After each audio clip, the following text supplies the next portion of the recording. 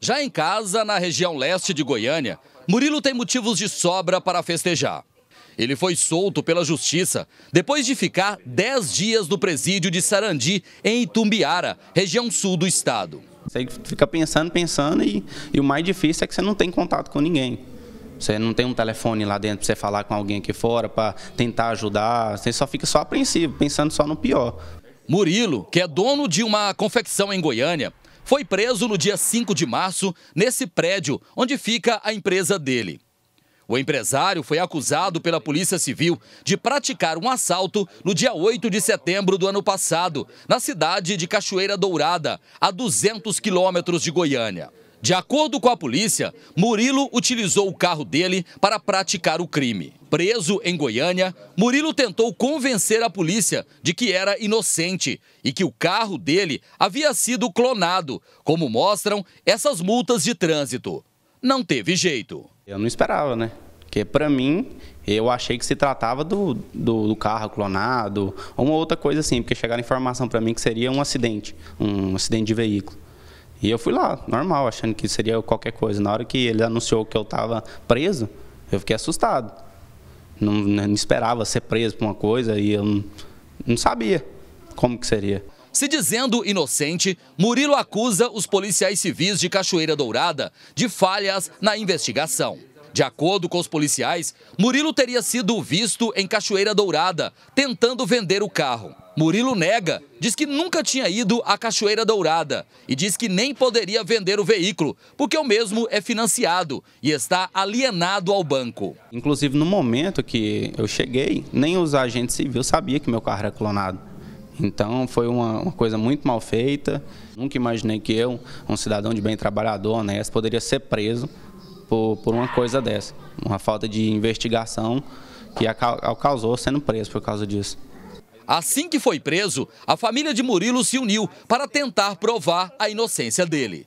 Eles mostraram que o empresário já havia denunciado na Delegacia de Furtos e Roubos de Veículos Automotores, em Goiânia, isso no ano passado, que o carro dele tinha sido clonado mostraram que no dia 8 de setembro, Murilo estava em Goiânia e não em Cachoeira Dourada, onde a polícia diz que ele cometeu o assalto. Além disso, a empresa de rastreamento forneceu documentos provando que o carro do empresário estava em Goiânia, na porta da empresa dele. A primeira prova que eu consegui foi o rastreamento do meu carro que foi a principal, que, que consta que eu estava aqui em Goiânia. É, em seguida foi a, a, clonagem do veículo, que eu tenho como provar que meu veículo é clonado e que tem as provas da, da furtos e roubo, tudinho que o delegado lá colocou. E tem conversas minhas no WhatsApp com uma, uma, contadora minha, que eu tinha um boleto que tinha vencido poucos dias antes. E eu pedi para ela atualizar na hora que eu ia fazer a busca, só que eu fui fazer a busca lá no do boleto à tarde.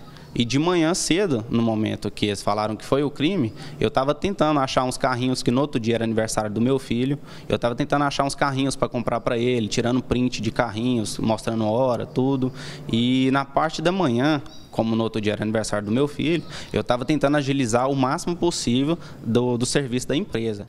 O Ministério Público foi contra a soltura do empresário e, por duas vezes, a juíza Laura Ribeiro de Oliveira se negou a libertar Murilo da cadeia. Murilo só foi solto no início da noite desta quarta-feira, horas depois do jornalismo da Record TV mostrar o suposto erro da Polícia Civil de Cachoeira Dourada. Assim que deixou o presídio, Murilo foi recebido pelo pai e pela mulher. Agora você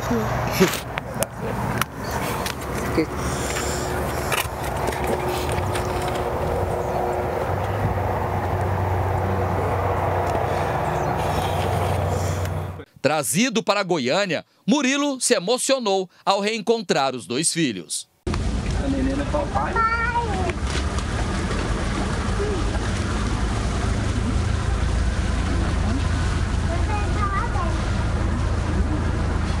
Ô papai! Vem papai! Vem papai! Corre papai!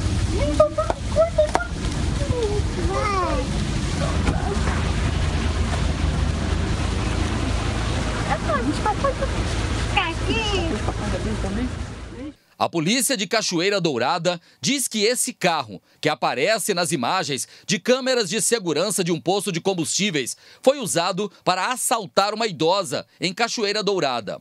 O carro vermelho, atrás do carro branco, foi o veículo tomado da idosa no assalto. O veículo branco, que aparece no vídeo, é parecido e tem as mesmas placas do carro do Murilo. Murilo, qual a diferença do seu carro com o carro que está clonado, que teria sido usado nesse assalto lá em Cachoeira Dourada? As primeiras diferenças que eu vi entre os carros seria esse sensor de estacionamento, que já veio... Esses botõezinhos aí. São esses botõezinhos aqui, que já veio no meu veículo.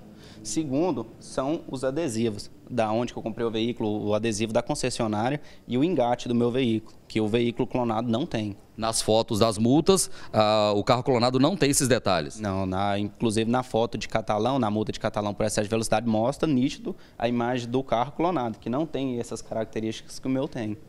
E na hora do, do assalto lá em Cachoeira, seu carro estava aqui em Goiânia? Tava sim, tava aqui em Goiânia.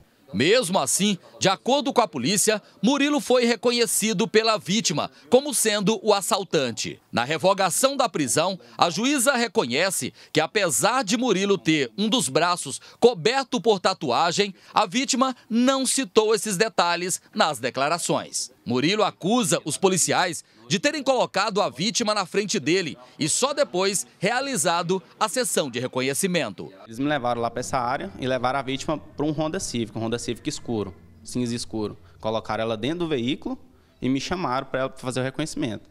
Aí eles me levaram para a rua, é, mandou ficar próximo ao veículo, do via do veículo, que eu, eu, eu, eu tinha um isofilme escuro nele. Mandou passar, ficar passando na frente dele, lá do outro lado da Sozinho ou tinha outras pessoas com você? Não, sozinho, só eu. Só eu. Eu e o delegado. O delegado falou: não, você vai lá na frente e volta. Eu fui lá na frente, voltei. Aí a vítima queria escutar a minha voz. Aí o delegado falou: não, escutar a voz dele não tem como, aqui não tem como. Porque normalmente um reconhecimento colocam várias pessoas junto com o suspeito para a pessoa definir quem é o, o suspeito ali, né? É, certo. Seria o certo, né? Porque é muito fácil a pessoa falar que é eu, tendo só eu ali. Porque ela já tinha visto você antes algemado. Isso. E pela foto da minha habilitação também, ela já tinha me visto, ela já tinha mais ou menos uma aparência minha. Então, naquele momento, não tinha outra pessoa para falar que era outra pessoa, era só eu.